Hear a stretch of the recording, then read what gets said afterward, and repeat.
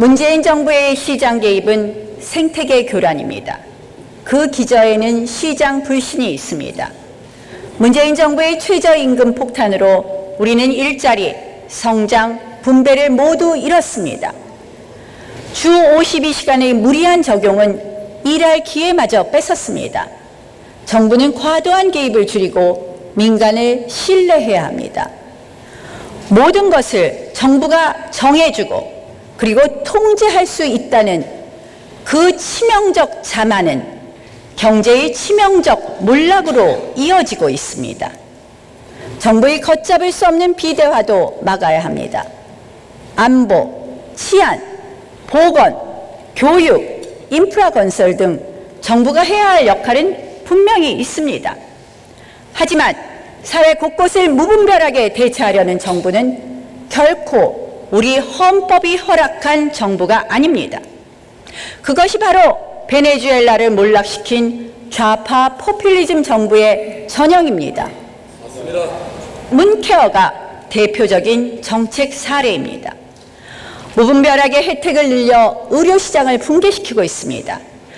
급격하게 고갈되어가는 재원을 채우기 위해 결국 건강보험료 폭탄을 터뜨리고 있습니다. 비현실적인 공약으로 국민의 환심을 산 뒤 그 뒷감당은 국민에게 하라는 것입니다. 문태어가 바로 좌파 복지 정책의 무능과 무책임이라는 민낯을 보여줍니다.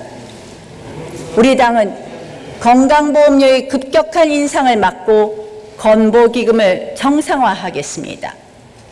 적립금은 사용 시 국회 승인을 받도록 법을 개정하고 건보 재정과 보험료 증가에 대한 종합 플랜을 정부로부터 제출받아 면밀히 검토하겠습니다.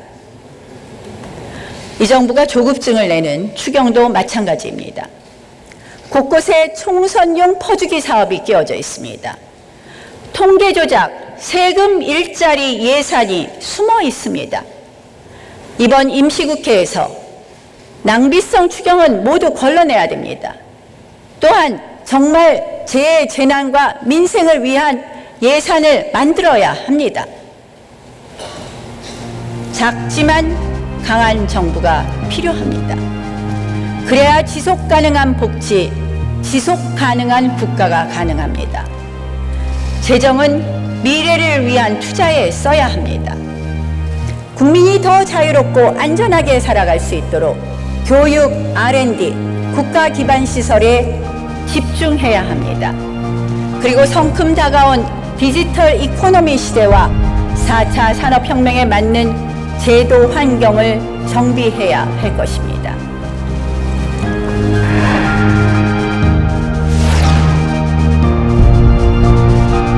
국민 여러분, 선배 동료 의원 여러분, 교육은 미래에 대한 투자입니다.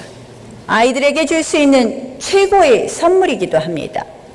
6.25 전쟁 중에도 교실을 열어 아이들을 가르쳤던 위대한 국민성이 있었기에 지금의 번영과 풍요가 가능했습니다. 우리 역시 같은 사명을 띠고 있습니다. 훌륭한 교육으로 우리 아이들의 미래를 열어줘야 합니다. 교육의 다양성, 자율성은 필수입니다. 획일적 교육은 미래의 인재를 길러낼 수 없습니다. 그런데 지금 벌어지는 자사고 죽이기를 보십시오. 한마디로 획일주의에 의한 자율과 창의의 말살입니다.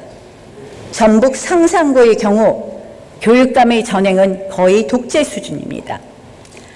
운동에 재능이 있는 아이에게 훈련의 기회를 주고 미술에 재능이 있는 아이에게 교습의 기회를 주고 공부를 더 하고 싶은 아이에게 더 높은 수준의 학습의 기회를 주는 것 당연한 일 아닙니까?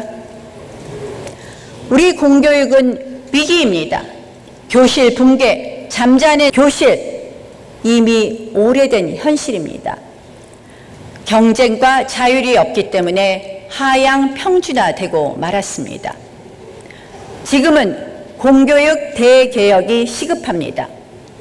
최소한의 자유를 가진 자사고마저 없애겠다는 것, 그것은 역주행의 교육 정책입니다. 오히려 자사고 같은 학교가 더 많아져야 합니다. 공교육에는 경쟁의 가치를 불어넣어 학생들이 질 좋은 교육을 누릴 수 있어야 합니다. 교원 평가제의 내실화, 교육 과정의 다양화, 자유한국당이 책임지겠습니다. 개천에서 용이 나올 수 있는 사회, 공교육의 정상화를 통해 가능합니다. 기회의 사다리를 복원하겠습니다. 저출산의 주요 원인인 사교육 부담의 완화는 역시 공교육 정상화를 통해 이룰 수 있습니다.